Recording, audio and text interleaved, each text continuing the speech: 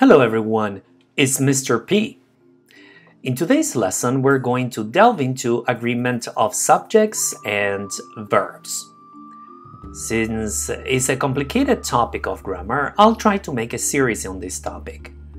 Therefore, in this lesson, we're discussing how to find the subject of a clause. Before we begin, I'd like to remind you that it would be better um, if you review the following topics simple and compound subjects, prepositional phrase, direct and indirect object, complement, inverted clause, and dependent and independent clause. As a rule of thumb, the principle of subject verb agreement seems simple. A singular subject requires a singular verb, and a plural subject a plural verb. But errors in subject verb agreement are the most common grammatical errors in writing. Most errors result from the writer's failure to locate the subject of the clause in which the verb appears.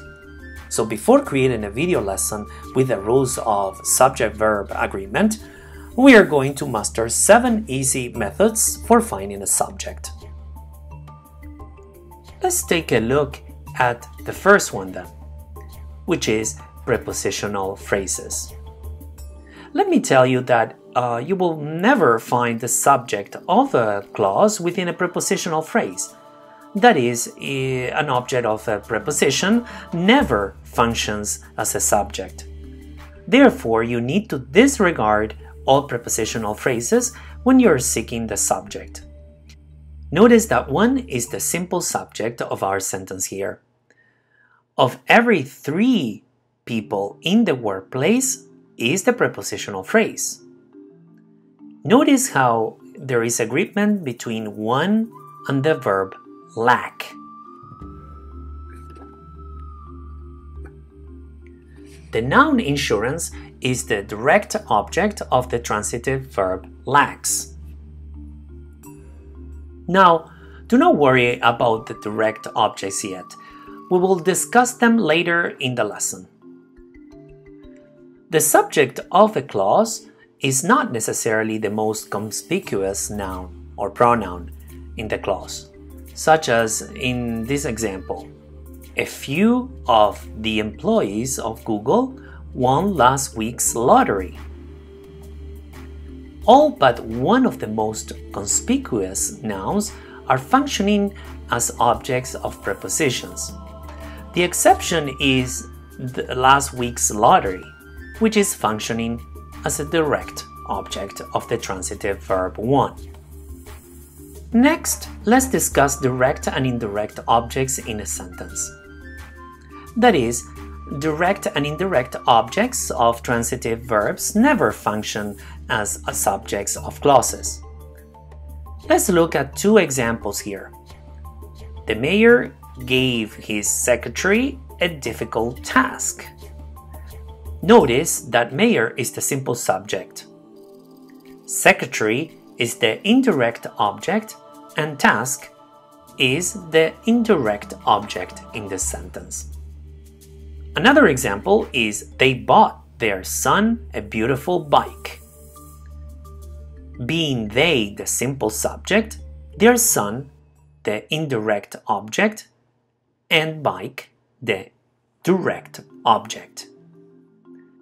An easy way to identify the indirect object is by asking who, and the direct object by asking what. So then, who did they buy a beautiful bike for? And what did they buy their son? Now, let's take a look at complement. Do not mistake a complement for a subject of a clause.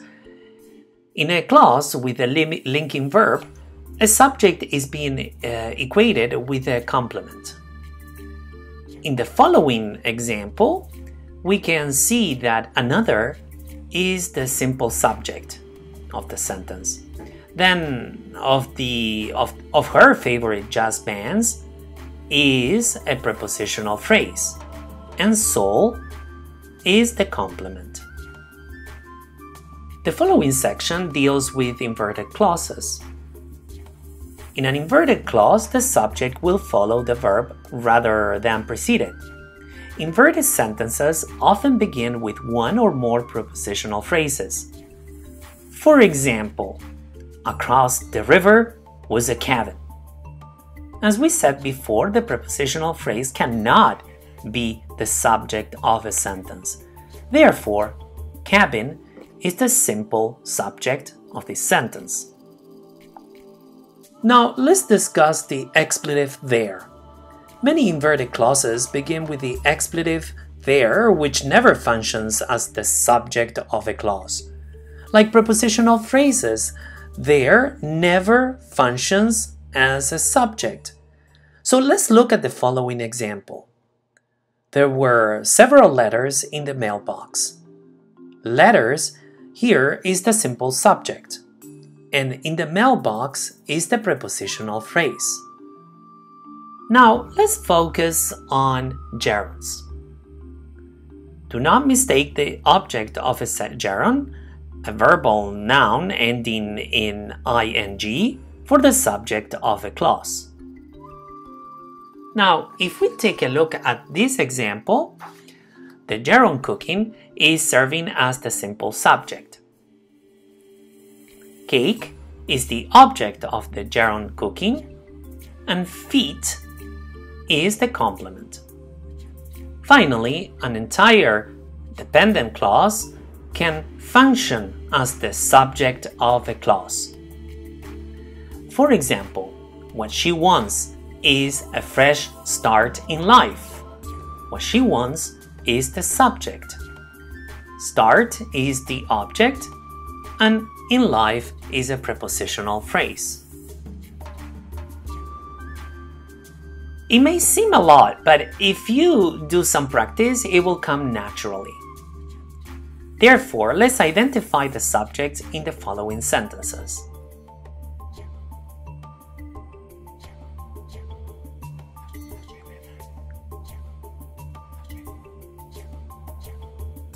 Please pause the video to read and locate the subjects. Then play it back to find the answers. Now that you completed the exercise, let's check it, shall we? Four of my friends here is the subject of this sentence. A glossary of literary terms is the subject the world's second largest continent is the subject. In this question, we can see that you is the subject. In number 5, instead, the writer is the subject. In number 6, one of our favorite sports is the subject. And number 7, what he organized for his birthday is the subject. That's it for today. I hope you enjoyed the lesson. Do not forget to subscribe to my channel, to like the lesson, and to finally share it with your friends. It'll mean the world to me. Thank you for watching. Until next time, take care. Bye bye.